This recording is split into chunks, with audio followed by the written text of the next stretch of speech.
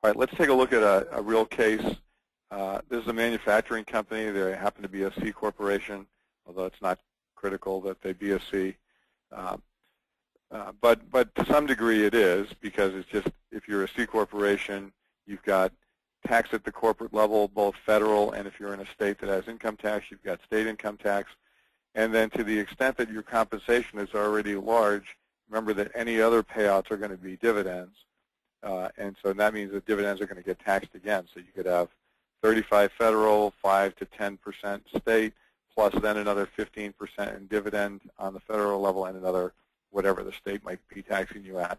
So uh, a C Corp is really um, even more compelling story uh, for a successful C Corp is even more compelling story for a captive than any other business entity.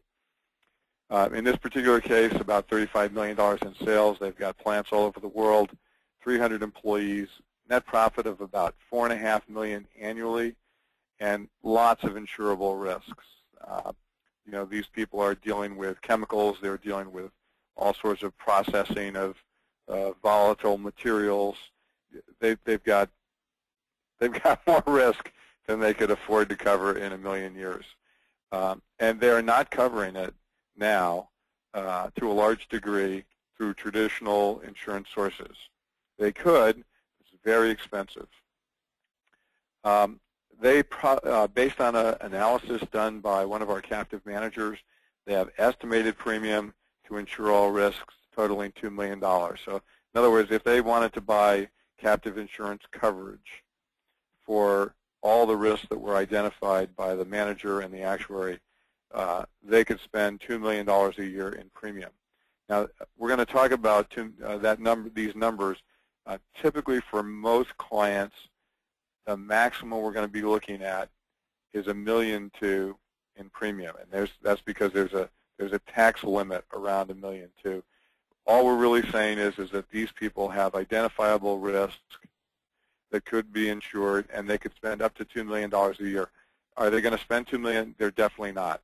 Um, I think in this particular case, these clients are doing, they're currently doing around 800,000 a year in premium.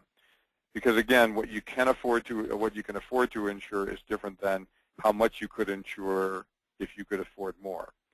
Uh, but again, just back to the case study. So we've got a range of risks that could be covered anywhere up to a total of 2 million. Uh, the captive was formed.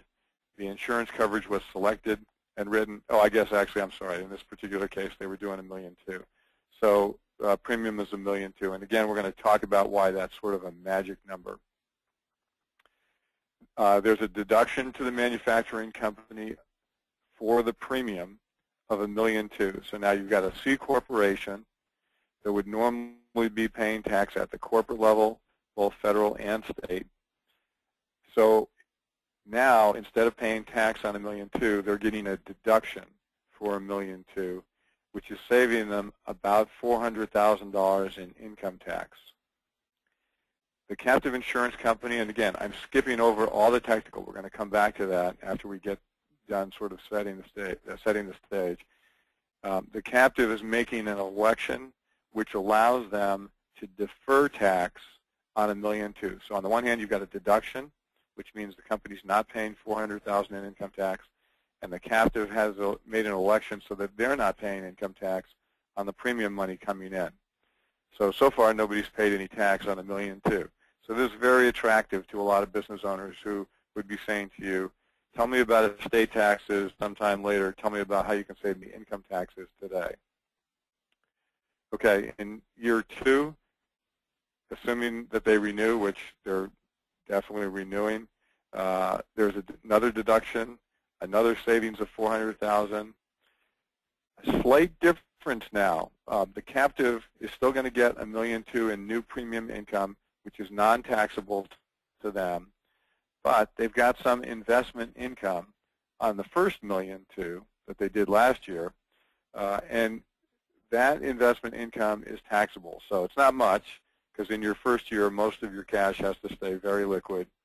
Uh, so there's not much taxable income. I mean, interest rates, bond rates, all, et cetera, et cetera, are very low, as everybody knows. So not a lot of taxable income, but whatever that taxable income is, is going to be taxed to the captive. The captives are always taxed as C corporations, so they're going to have some tax on that investment income. But what you've got essentially at this point is a million two in first year revenue, a million two in second year revenue. Uh, so whatever the administration costs are, which we'll talk about, whatever the claims are, which uh, typically but not always are low, then we've got a substantial whack of money sitting in the captive. So now we're coming back and saying, did we get wealth accumulation? Yes, we're getting wealth accumulation. Did we get tax advantages? Yes, we got tax advantages. Were we able to insure risk at a lower cost than what it would cost to go outside and get it? Yes. Were we able to save some money on insurance that uh, costs that we might have been paying to Marsh or to Aon? At, I don't remember exactly in this case, but in many cases, that's a possibility. So we're hitting a lot of the objectives that we wanted to hit at the very beginning.